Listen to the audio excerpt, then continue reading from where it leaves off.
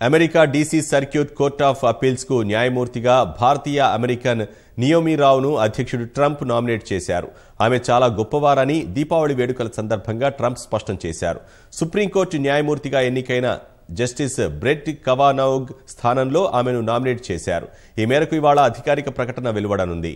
భారతీయ భద్రత అధికారాల విభజన నియంత్రణ వంటి కీలక అంశాలను పర్యవేక్షించే డీసీ సర్క్యూట్ కోర్టుకు ఆమె నామినేషన్ను సెనేట్ ఆమోదించాల్సి ఉంటుంది. సెనేట్ ఆమోదం పొందితే శ్రీ శ్రీనివాసన్ తర్వాత డీసీ సర్క్యూట్కు వెళ్ళిన రెండో భారతీయ అమెరికన్ జడ్జిగా నియమిరావు పేరొందుతారు. American court of appeals for the DC సర్క్యూట్ను సుప్రీంకోర్టు తర్వాత అంత శక్తివంతమైన కోర్టుగా పరిగణిస్తారు.